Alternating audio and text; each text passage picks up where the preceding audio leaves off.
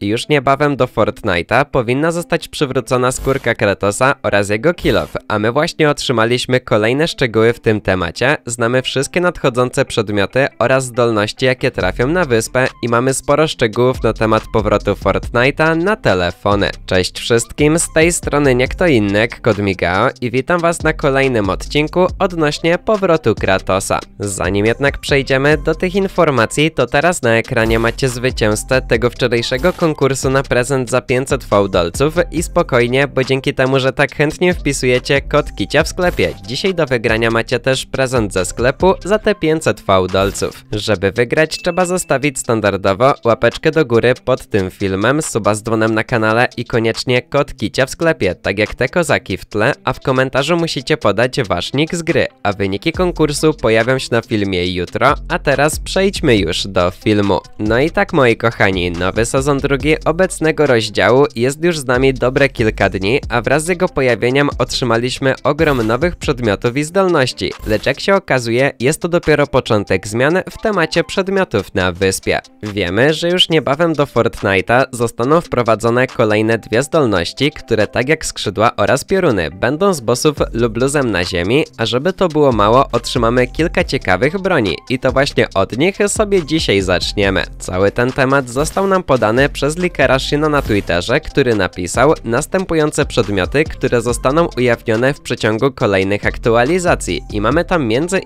Tommy Guna, taktycznego PM'a oraz co ciekawe pistolet Digla. Wszystkie te przedmioty macie widoczne teraz na ekranie i przykładowo Tommy Gun zostanie wprowadzony do gry z okazji powrotu Midasa na wyspę, o czym mówiłem wam przykładowo wczoraj i teraz możecie zobaczyć statystykę tego przedmiotu oraz nowy jego wygląd. Kolejny przedmiot to taktyczny PM, który został zaktualizowany w plikach gry, więc niebawem powinien ponownie pojawić się na wyspie, a sam Deagle został przedstawiony na zwiastunie tego sezonu i co ciekawe na Deagla będziecie mogli zamontować różne nowe modyfikacje. Jednakże poza samymi przedmiotami wiemy, że do gry zostaną dodane dokładnie dwie zdolności i wszystkie z nich były na zwiastunie, a pierwsza to nic innego jak ognisty łańcuch Hadesa i nawet sam Fortnite napisał na stronie, że niebawem trafi on do gry. Druga zdolność, o której jeszcze wam nie mówiłem, to ta widoczna teraz na ekranie i została ona wykorzystana na zwiastunie do skina Kory ze współpracy z awatarem i dzięki temu, że pojawiła się ona w tamtym miejscu,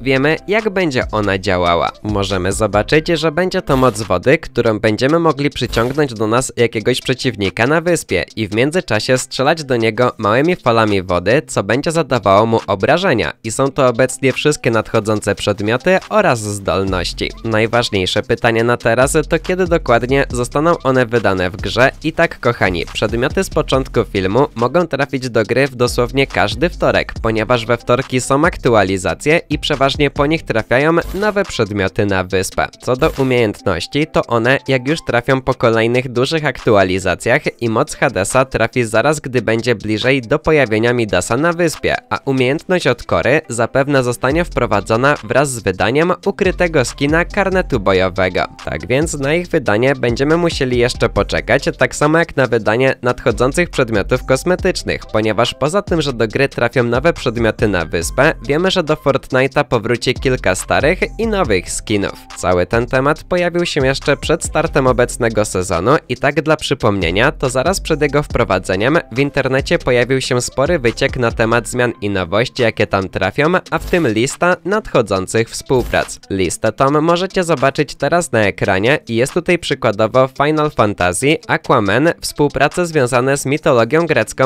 lecz was wszystkich interesuje tylko jedna pozycja z wszystkich, które tam są, a jest to oczywiście God of War. Dla tych, którzy jeszcze nie wiedzą, to właśnie w ramach tej współpracy do Fortnite'a prawie 3 lata temu został wprowadzony skin Kratosa oraz jego legendarny kill-off, na którego sporo graczy cały czas poluje i co ciekawe niebawem może on serio powrócić do gry. Wszystko dlatego, że informacje, które wyciekły od tej osoby i dotyczyły obecnego nam już sezonu, prawie wszystkie się sprawdziły poza małymi szczegółowymi rzeczami, więc jednocześnie można się spodziewać, że ta współpraca też do nas powróci. Wraz z jej wydaniem mielibyśmy otrzymać nowego skina powiązanego z tą współpracą, czyli nikogo innego jak syna Kratosa, a skoro do gry miałby trafić jego syn, to jednocześnie można się spodziewać, że sam Kratos oraz jego Kilof też tam powrócą. No i w tym temacie temacie, co ciekawe, pojawiło się kilka dodatkowych informacji, które podał nam jeden z najpopularniejszych likerów z Fortnite'a, czyli Hypex, który wczoraj na swojego YouTube'a wstawił dość ciekawy film o tytule Nareszcie i miniaturka ze skinem Kratosa. W samym filmie dowiadujemy się, że podobno Kratos wraz z wydaniem obecnego sezonu został zaktualizowany i rzeczywiście coś takiego się wydarzyło. I teraz w tle do porównania macie Kratosa jeszcze z tego poprzedniego sezonu pierwszego, a po prawo Kratosa z obecnego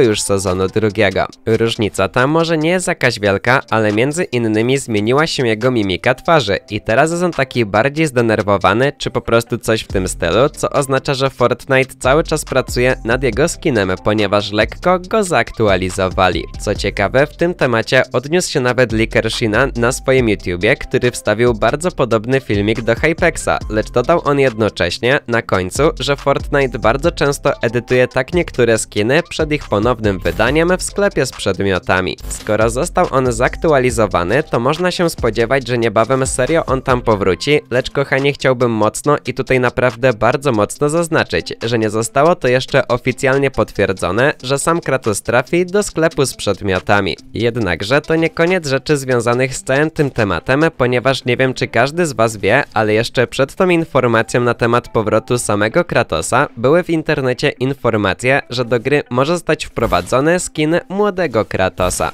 Informacje te podał również Hypex, który lekko zaktualizował ten temat kilka dni później, a o tym jeszcze wam nie mówiłem i wspomniał on, że skin młodego Kratosa został niedawno wymieniony na liście współprac, jakie mogłyby trafić do Fortnite'a. Tak więc, mając już tyle szczegółowych informacji, wprost można powiedzieć, że powrót Kratosa do sklepu z przedmiotami jest teraz bardziej niż pewny, ale tak jak powiedziałem wam chwilkę temu, nie jest to jeszcze potwierdzone i musimy trochę poczekać. W plikach gry nie została jeszcze dodana zakładka sklepu od Kratosa, więc w najbliższych dniach na 100% nie zobaczymy jego skina w sklepie, lecz kto wie, może po jakiejś kolejnej aktualizacji Fortnite doda jego zakładkę oraz samego jego skina. O tym temacie informacje będę przedstawiał wam na bieżąco, tak więc wyczekujcie i na koniec mam dla was informacje na temat powrotu Fortnite na telefony, ponieważ ostatnio w internecie pojawiły się informacje, że znów ma on tam się nie pojawić. Oczywiście dodamy, że chodzi tutaj tylko i wyłącznie o telefony z systemem iOS i jak jeszcze nie wiecie, to ostatnio były informacje, że Fortnite stworzy swoją własną aplikację Epic Games na te telefony, z której gracze normalnie pobiorą sobie Fortnite'a. Kilka dni później Apple postanowił zablokować ponownie programistów Fortnite'a, co było niezgodne z zasadami i kilka dni później otrzymaliśmy informację, że prace nad launcherem Epic Games są wznowione i cały czas Fortnite nad nimi tam pracuje. Tak więc spokojnie,